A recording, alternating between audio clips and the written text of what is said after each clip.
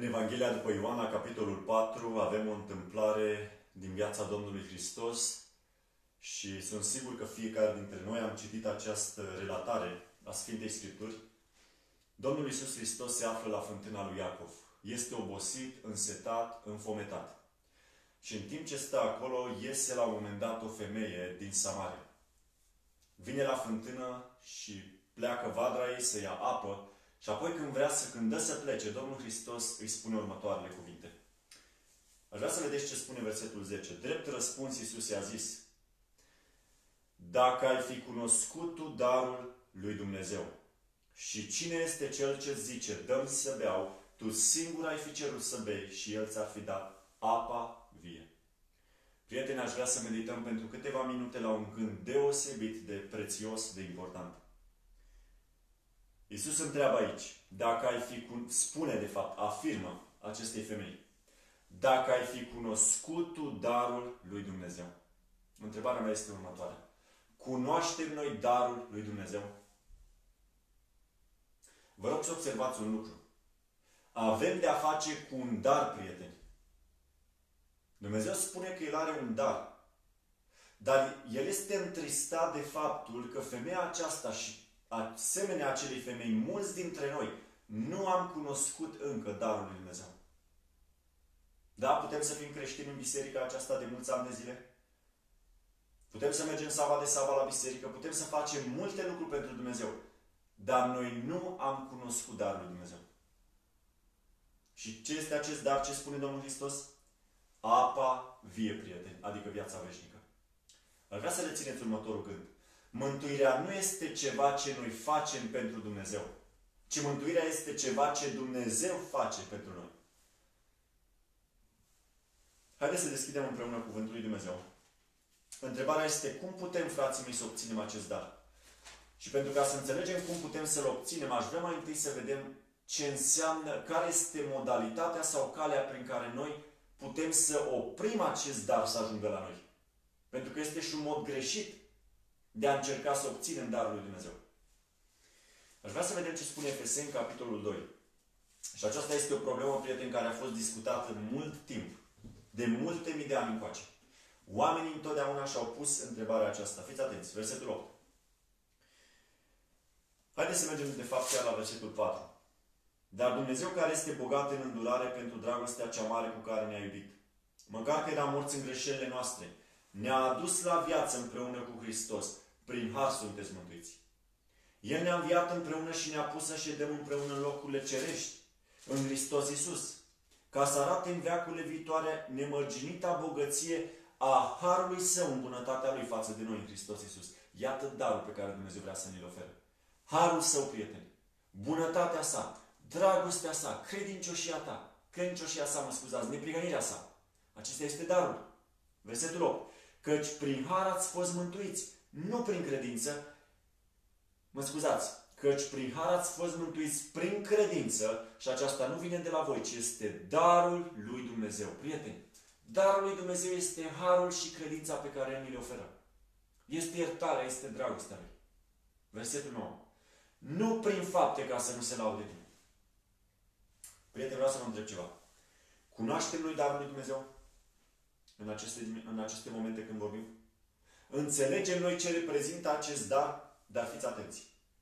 Știați că există un mod greșit de a încerca să obținem acest dar al lui Dumnezeu, care este credința, iubirea Lui, harul Lui, iertarea, neprihănirea Lui? O, frații mei, vor oamenii să fie neprihăniți astăzi. Dar cum vor ei să obțină această neprihănire? Aici este întrebarea. Aș vrea să vă sugerez următorul gând. Dacă este un dar sunteți de acord cu mine că darurile nu pot fi cumpărate? Este imposibil, prieteni. Dacă este un dar, nu se poate cumpăra. Acum vreau să vedeți ceva. Unii oameni încearcă să câștige acest dar de la Dumnezeu, să-l obțină pe o cale nepotrivită. Știți cum? Mergeți cu mine în Roman, capitolul 6. Și vreau să vedem, prieteni, dacă nu cumva ne găsim în această categorie de oameni. Fiindcă plata păcatului ce este? Moartea. Dar darul fără plata lui Dumnezeu este viața veșnică în Hristos Domnul nostru. Deci, prieteni mei, fiți atenți. Tu poți să obții darul acesta de la Dumnezeu cerând. Iisus te invită să-L ceri, să-L cauți. și el ți se oferă cum? Fără plată. Sau dacă tu simți că trebuie să plătești pentru darul acesta, care este plata, frații mei? Ce spune Roman 6 cu 23? Plata păcatului este moartea. Deci dacă eu încerc să caut darul lui Dumnezeu prin faptele mele personale, prin meritele mele personale, prin străduințele mele personale, dacă eu simt nevoia să fac anumite lucruri pentru a câștiga favoarea lui Dumnezeu față de mine, prieteni, eu încerc să plătesc un dar, dar așa ceva este imposibil. Dar dacă, dacă eu mă găsesc în experiența omului care caută să plătească darul lui Dumnezeu, frații mei, care este plata păcatului? Deci dacă eu caut să merg pe sistemul de a lucra cu faptele mele pentru a obține darul lui Dumnezeu, într-un final eu voi fi plătit, frații mei, pentru că am, am lucrat. Voi, voi primi o plată pentru că m-am străduit. Dar care este plata? Este moartea, prieteni. Și ce trist că mulți oameni vor fi pierduți. Încercând, străduindu-se, luptându-se, chinuindu-se, să obțină ceva care este gratis. Prieteni, nu avem nevoie să plătim nimic. Mă scuzați, nu avem nevoie să, să, să, să, lucră, să lucrăm cu faptele noastre pentru a primi ceea ce este deja oferit. Aș vrea să vă dau un exemplu. Vreau să vă întreb ceva. Vă amintiți de experiența lui Luther? Luther se lupta cu Dumnezeu în închisoarea aceea întunecată și spunea, Doamne, vreau să fiu, vreau să fiu curățit, vreau să mă împac cu Tine, vreau să am liniște sufletească. Și se lupta, frații mei, din răsputeri. Se chinuia, se biciuia, se lovea. A reușit el să se elibereze așa? Nu, frații mei. Apoi s-a dus pe scările acelea și urca în genunchi, frații mei. Căuta fapte meritorii ca să fie acceptat de Dumnezeu. Adică încerca să facă ce? Să lucreze din greu. Pentru ca să primească ce? Pentru că el credea că numai dacă face lucrul acesta primește favoarea lui Dumnezeu. O, frații mei, și la un moment dat i-a venit gândul acesta. Cel neprihănit va trăi prin credință. Și ce eliberare a fost pentru el să înțeleagă că lucru pentru care el muncea din greu și credea că face bine, de fapt era gratuit, frații mei. Trebuia doar să-l ceară de la Dumnezeu. Trebuia doar să întindă mâna și era oferit fără plată. Wesley la fel a făcut, frații mei. Era un om bun, se sacrifica pentru alții, îi ajuta pe alții, dar nu avea pacea aceea cu Dumnezeu. El credea că prin faptele lui bune pe care le face, poate să-L îmbuneze pe Dumnezeu, să-i obțină uh, îndurarea Lui, să obțină cumva aprecierea Lui. Poate că poate primi o, așa în felul acesta favoarea lui Dumnezeu. Ce s-a întâmplat, prieteni? N-a putut să aibă experiența adevărată până când a descoperit ceea ce studiem în această ocazie că darul lui Dumnezeu, prieten, nu poate fi plătit. Nu poate fi cumpărat. El este gratuit. Acum, problema aceasta are mai multe implicații și aș vrea să vă întreb ceva. Fratele meu și sora mea, ești cumva în experiența ta istovit, obosit, înfrânt? Ai încercat să-i faci pe planul lui Dumnezeu și parcă nimic nu merge? Cu cât vrei să faci mai mult ce trebuie, cu atât faci mai mult rău? Este adevărat că te străduiești să ții cele 10 porunci, să respecti ce spune Dumnezeu în cuvântul Său și totuși cazi și eșuezi de multe ori? Frații mei, știți de ce se întâmplă lucrul acesta? Pentru că noi am făcut o greșeală mare. Noi am crezut că darul lui Dumnezeu poate fi cumpărat. Noi am crezut că prin faptele noastre, prin munca și străduința noastră personală, noi putem să obținem favoarea lui Dumnezeu. Am crezut că asta înseamnă neprihănirea. Am crezut că asta înseamnă sfințirea. Am crezut că asta înseamnă să venim la Dumnezeu și să primim pe merite personale mântuirea Lui. Frații mei, așa ceva nu este posibil. Un dar nu poate fi cumpărat. Este un dar. Trebuie doar să fie primit, prieteni. Dar pentru ca noi să primim, noi trebuie să-L căutăm la Dumnezeu. Și cum îl căutăm, prieteni? Aici este întrebarea. Haideți să privim la următorul lucru. Unii oameni sunt sigur că la momentul acesta vor spune, da frate, dar unde sunt faptele?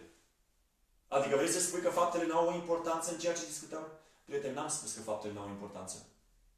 Eu am încercat însă să lovesc această eroare, această greșeală a minții noastre. Că noi am putea cumva să cumpărăm Harul lui Dumnezeu. Vreau să vă dau un exemplu care este foarte bine cunoscut. Ați auzit vorba aceasta? Nu este posibil să pui carul în fața carului. Sau căruța în fața carului. De ce? Pentru că nu se întâmplă nimic. Nu poți să mergi niciunde. Dacă vrei să mergi undeva cu căruța, tu trebuie să pui calul în fața căruței. Deci există ordine, prieteni. Asta încerc să spun în această ocazie. Darul lui Dumnezeu reprezintă calul. Acesta merge înainte. Ce este darul lui Dumnezeu, prieten? Este neprihănirea lui, este iertarea lui, este harul lui, iubirea lui manifestată față de păcătos. Noi pe acestea trebuie să le căutăm. Spre acestea trebuie să concentrăm atenția noastră. Pentru că, prieteni, vreau să vă spun ceva. În momentul în care calul a fost pus în fața căruței, sunteți de acord că căruța urmează după cal? Haideți să citim lucrul acesta foarte frumos prezentat în Efeseni, capitolul 2, versetele 8 și 10. Căci prin har ați fost mântuiți prin credință. Deci e clar că calul trebuie să fie în față. Asta căutăm. Noi ne încredem în Harul lui Hristos, în credință, avem credință în El.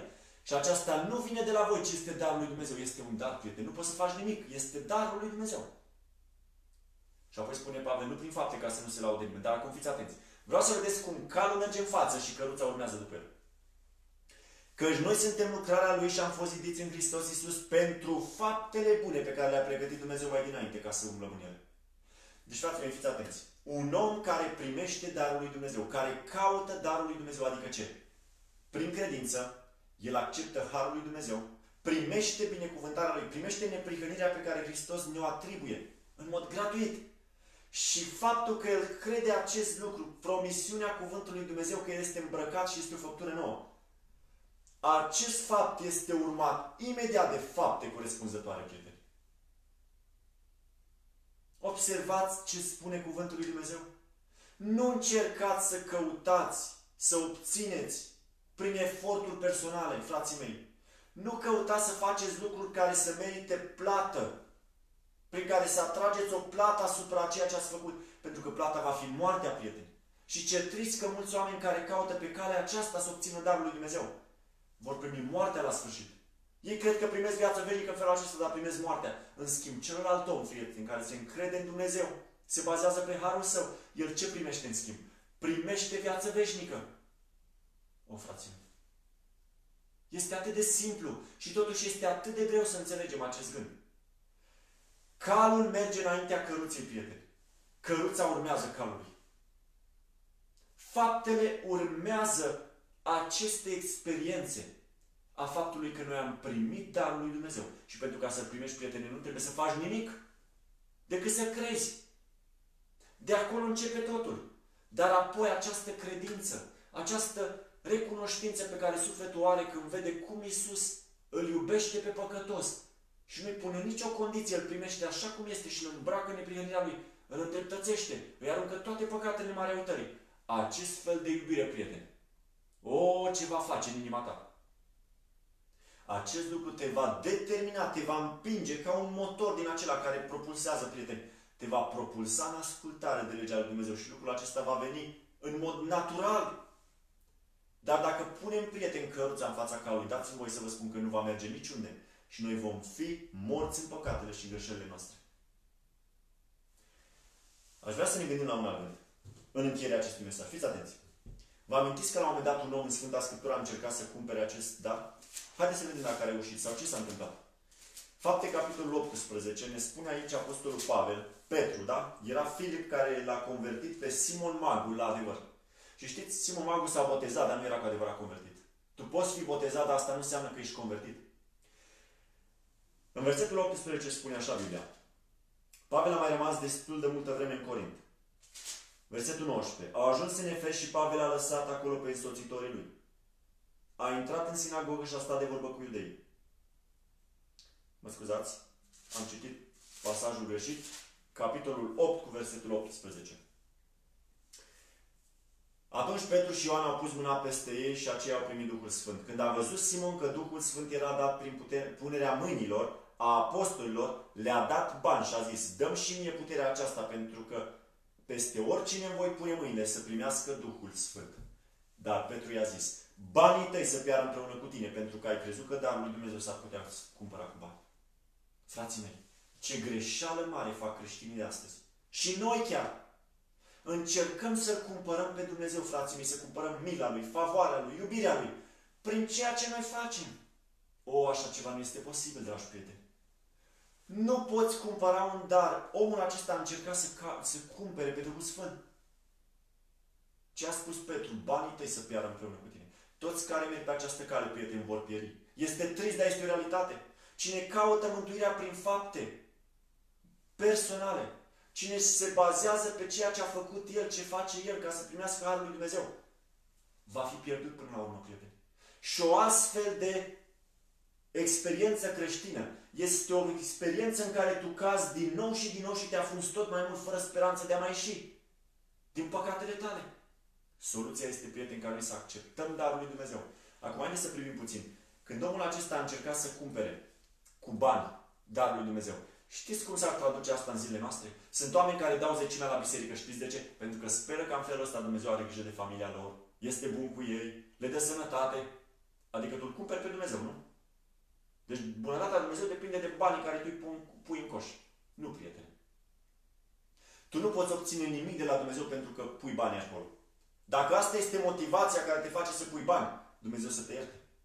Dacă tu dai darul și zecimi pentru acest scop, dacă tu ajuți pe unii oameni în speranța ca Dumnezeu să-ți dea ție să se poarte frumos cu tine, fratele meu, tu n-ai înțeles Evanghelia. Unii fac bine săracilor, merg și predică Evanghelia, fac multe lucrări pentru Dumnezeu. Știți de ce? Pentru că speră că prin aceste fapte bune pe care le fac, ei să merite favoarea lui Dumnezeu. Total greșit, prieten, aceasta este învățătură catolică. Luther s-a luptat acolo până când a înțeles și a ieșit până la urmă din întunericul acela. Și ce eliberare a însemnat pentru el, prieten. Haideți să nu cădem în această capcană. Acum vreau să fiți atenți.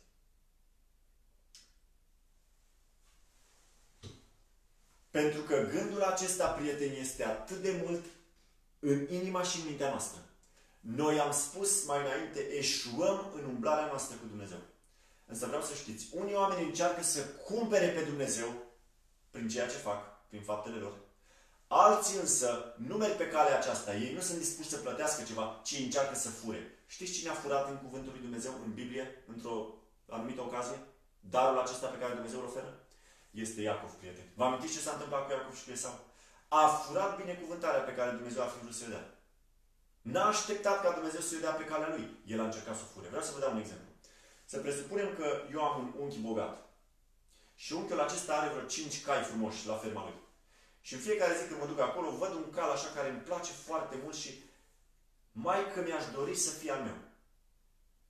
Și apoi mă duc din nou și din nou, de ori de câte ori fac o vizită, îl văd pe calul acesta frumos. Da, are o înfățișare frumoasă, dar merge deosebit și aleargă deosebit și este foarte ascultător și este instruit foarte bine și în mintea mea se naște o dorință, prieten. Vreau neapărat să am calul acesta. Dar în loc să mă duc și să spun stăpânului, unchiului meu, uite unchiule, aș vrea și eu să am calul acesta. Nu, mă gândesc la un alt plan. Lasă că mă duc noaptea pe ascuns, când el doarme, și îl fur din grajd. Și așa a și făcut frații mei. Se duce tânărul acesta noaptea, fură din graș calul. Hai să spunem că sunt eu tânărul, da? Îl fur din graș și după ce mă duc acasă. Și mă întâlnesc după câteva zile cu unchiul meu și îmi spune, nepoate, zice, am, am, o, am o situație foarte, foarte tristă. Zice, îmi pare foarte, mi s-a întâmplat ceva și sunt foarte, foarte supărat. Și tu îmi întrebi, dar ce s-a întâmplat, unchiule? Păi uite, aveam un cal frumos, ți-l amintește? Calul acela care era cel mai ascultător, cel mai bun. Și pur și simplu, într-o dimineață când m-am trezit, nu mai era în graș. Cineva l-a furat. Și îmi pare atât de rău. Și apoi îi spune, uite, nepoate, știi de ce vreau să spun lucrul ăsta? Calul acela eu îl pregătisem să ți-l dau ție. Era pentru tine. Dar cineva l-a furat și îmi pare atât de rău. Vreau să știi că am, am dorit cu toată inima să-ți ofer acest cal, dar l-a furat. Vreau să te întreb, prietene, cum te-ai simțit în momentul acela dacă tu ai fi ști, dacă tu ai fi în situația asta și știi că tu ai furat calul acela? Și auzi că de fapt el îl pregătea și voia să ți-l dea ție într-un final. Nu te-ai simțit rău, prietene? Prietene, vreau să știți un lucru. Așa a făcut Iacov. Și el, ca rezultat al alegerii a trebuit să sufere mult din cauza aceasta. Prieteni, nu este adevărat că noi de multe ori ori încercăm să cumpărăm prin merite personale mântuirea lui Dumnezeu darul acesta care este gratis, ori dacă nu încercăm să-l furăm, să căutăm niște mijloace nereligioase, neortodoxe, ca să spun așa, prin care să obținem lucrurile pe care Dumnezeu vrea oricum să ne le dea. Și nu este trist, prieteni, ca asemenea lui Iacov, nu avem răbdare să lăsăm pe Dumnezeu să-și împlinească planul care le are cu noi. El are planuri minunate pentru viața noastră. Dar noi nu suntem răbdători, prieteni, și furăm darul lui Dumnezeu. Încercăm să-l obținem pe o cale nepotrivită. Vreau să știți, prieteni, Iacov a avut șansa să se pocăiască, slavă lui Dumnezeu. Dar toți aceia care merg pe programul lui Simon Magul, încearcă să plătească mântuirea, încearcă să plătească darul lui Dumnezeu, ei vor sfârși prin moarte veșnică. Și în această ocazie, prieteni, vreau să vă spun un singur lucru. Ce a spus Iisus femeii samaritence? Dacă ai fi cunoscut tu darul lui Dumnezeu, ai fi cerut și El ți-ar fi dat apa vieții. Prieteni, haideți să îndrăznim să mergem înaintea lui Dumnezeu pe genunchi, la calvar. Și să-i spunem, Doamne, iartă-ne pentru că am încercat pentru o atitudine greșită să cumpărăm mântuirea noastră prin fapte meritorii. Ajută-ne, Doamne, să dăm la o parte faptele noastre. Ajută-ne să punem credința noastră înainte.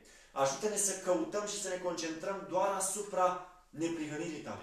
Să primim făgăduința acceptării și a îndreptățirii tale. Și apoi când vom înțelege această iubire și o vom experimenta, prieteni, vă spun garantat că faptele vor urma. Este ca și căruța care vine după cal. Tu când vezi un cal la colțul străzii, dar la colțul casei, apare calul și trece. Imediat în mintea ta te gândești că după el vine și ce? Și căruța. Mai ales dacă vezi hamurile puse pe cal. Frații mei, exact așa este cu această problemă. Noi căutăm neprihănirea lui Hristos, acceptăm precădința darul lui. Primim binecuvântările lui, ne bucurăm de acestea. Și apoi, ca urmare, noi vom face faptele pe care Dumnezeu le-a pregătit mai înainte. Nu invers, prieteni. O singură întrebare rămâne. Primești darul fără plata lui Dumnezeu? Sau încerci să faci tu ceva ca să meriți o plată? Și dacă meriți o plată, prieteni, știți care este plata? Este moartea. Haideți să încetăm să mai căutăm să ne câștigăm mântuirea prin fapte personale, meritorii. Prieteni, n-am aruncat la o parte faptele, să nu mă înțeleagă nimeni greșit. Nu vor fi oameni în ceruri fără fapte corespunzătoare. Dar am spus, haideți să punem lucrurile așa cum sunt ele, cum sunt lăsate de Dumnezeu. Și când noi punem calul în fața căruței, asta nu înseamnă că căruța am aruncat-o deoparte și calul merge singur. Nu, prieteni. Pentru că așa n-am făcut nimic.